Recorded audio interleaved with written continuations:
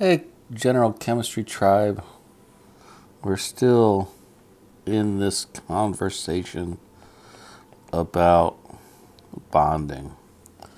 And so far, we have a couple different models uh, for bonding.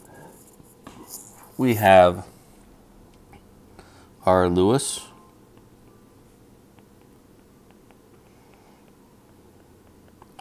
Dot theory. Right? That helped us to get a perspective on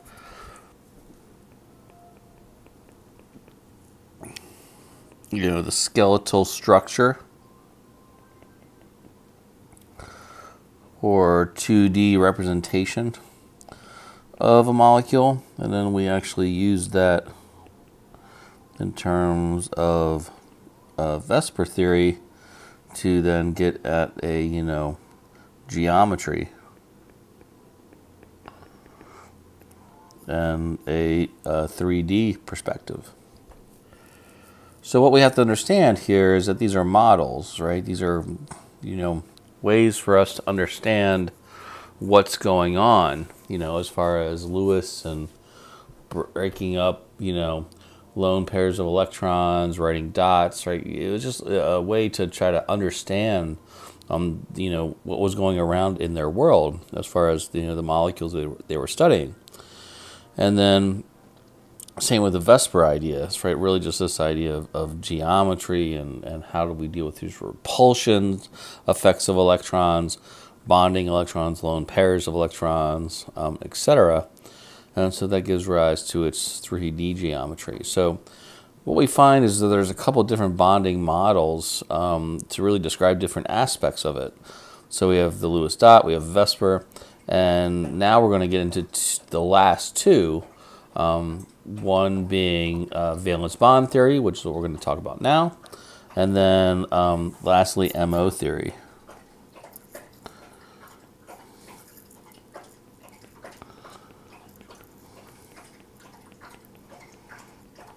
So we have valence, uh, valence bond theory,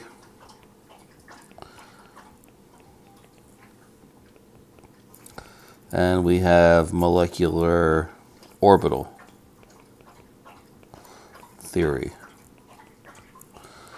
And so here is where we're going to focus our time in this particular set, um, where now we're getting into this notion of hybridization.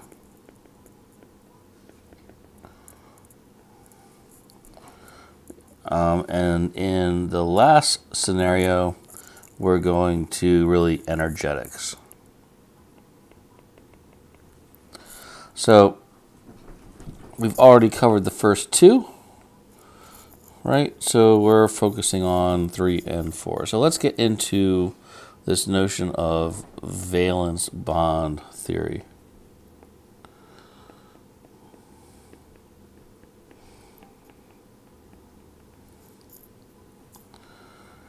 So, you know, we have a problem with you know how we view valence electrons.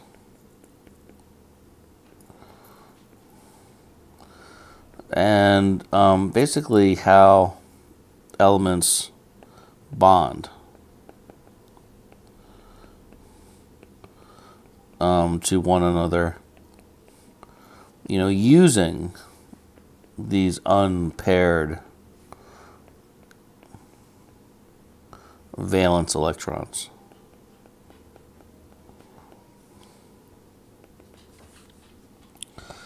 As, as an example of this, let's look at um, methane.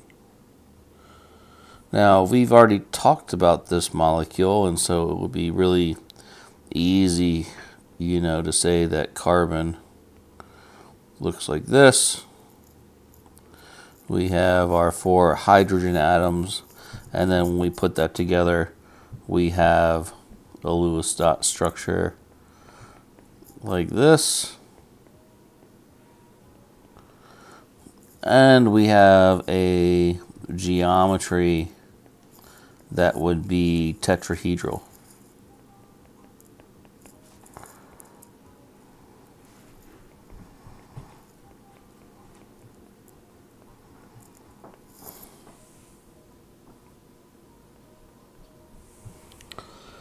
Now, the problem really kind of arises if we look at carbon and really, you know, kind of expand on this idea.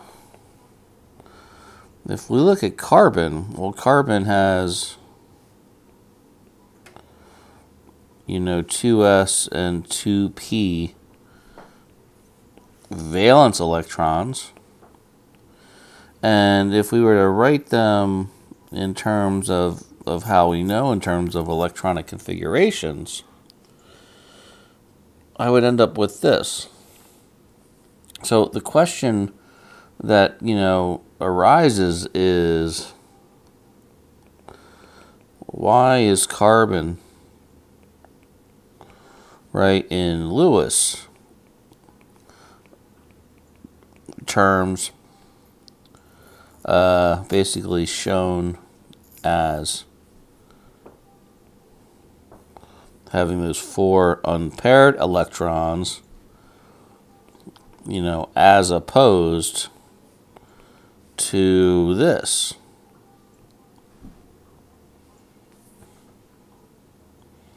Because if we look above, right, we have, you know, two electrons in the 2s and they're paired up, right? And that's really what this lower representation, or I'm sorry, to the right representation is kind of showing is that idea of the 2s and the 2p looking like this.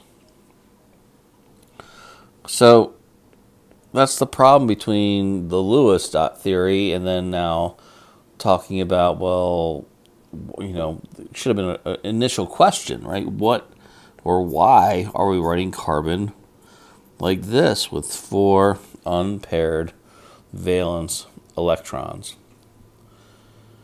And so this is where this idea of valence bond theory comes into play.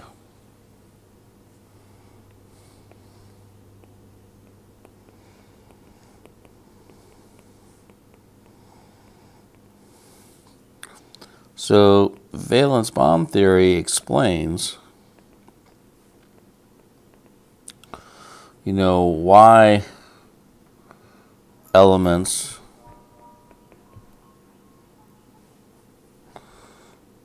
can bond um, using their unpaired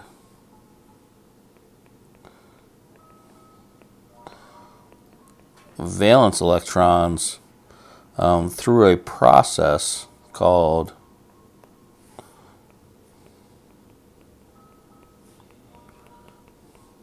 hybridization.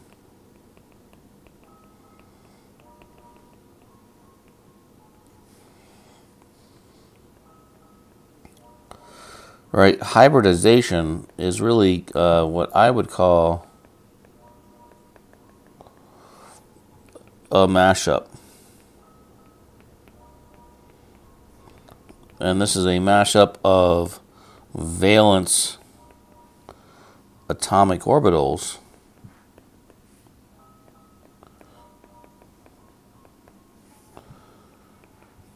basically to create new hybridized bonding orbitals.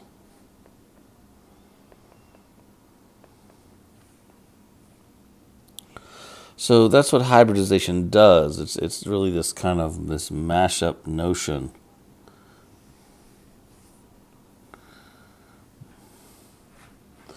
And as a result, that allows us to create now new bonding orbitals. With uh, valence bond theory, we have um, two different types of bonds, we have what's known as the sigma bond. And this is a, you know, an overlap of hybridized orbitals between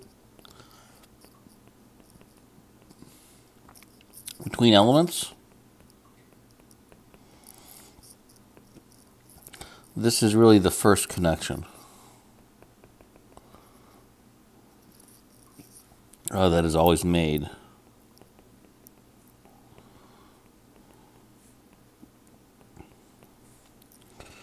And then we have the pi bond.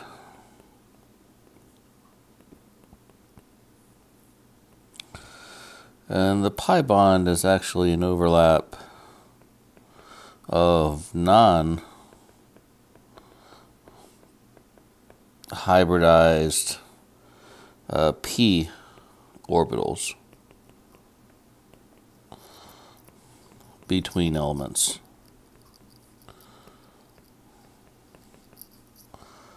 This is either, you know, the second or the, the, the third connection.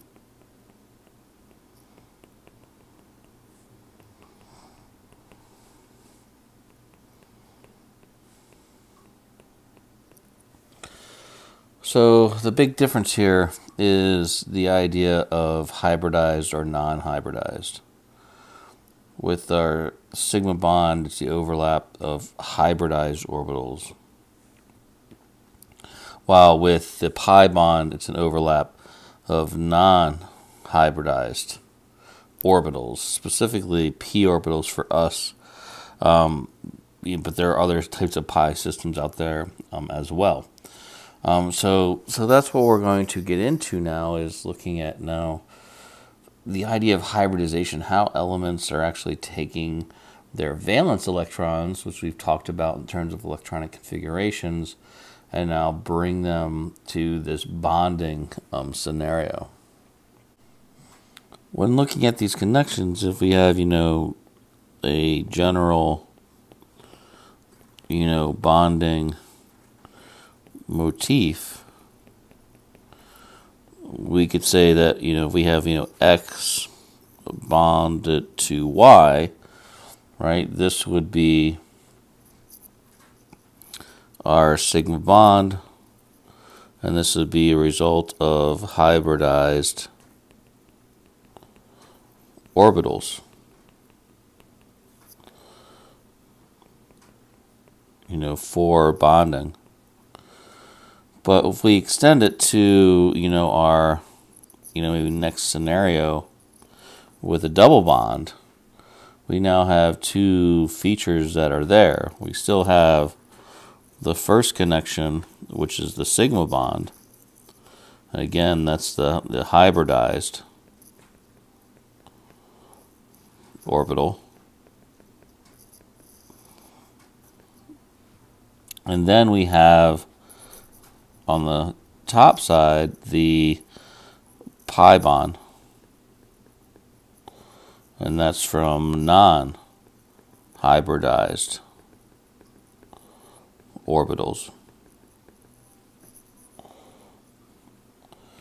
And we can go to our third you know scenario which is the the triple bond.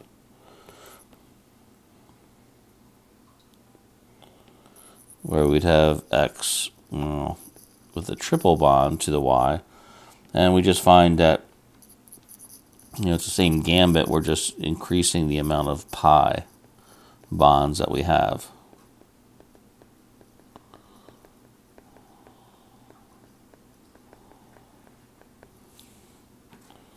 So we have our triple bond with its sigma, and then we have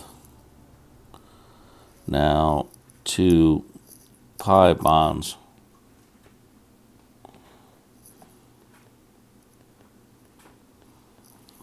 And again, those are from non hybridized uh, orbitals.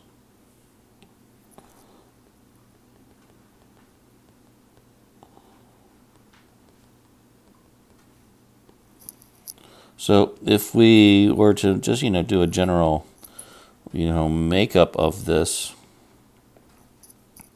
you know, a single bond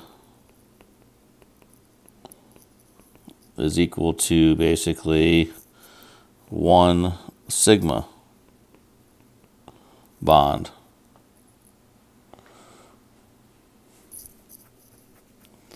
Our double bond is then equal to now two different bonds, right? We have the one sigma bond, and now we also have one pi bond. And so both of those are going along with the actual double bond. And we could say now extend it to the triple as well. Right, that, that we still have that first sigma bond, that first connection, but now we actually have two pi bonds. So that's what we're going to get into in terms of talking about, you know, this idea of hybridization, how we need to hybridize orbitals to make the first connection. We then, if we have more connections, meaning a double bond, like with an extra layer of connectivity, or a triple bond with a couple extra layers of connectivity, that extra layer or layers comes from right? The idea of non hybridized orbitals. So let's get into that.